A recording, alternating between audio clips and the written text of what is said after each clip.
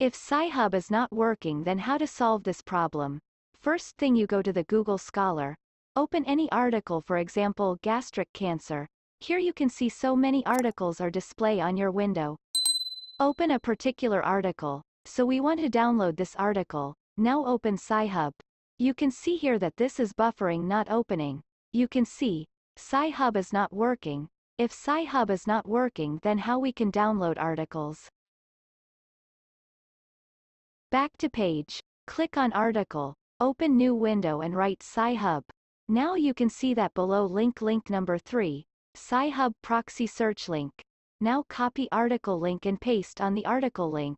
Click open. Now you can see that this website is 100% working. Now you can download all research paper with this process. Thank you for watching.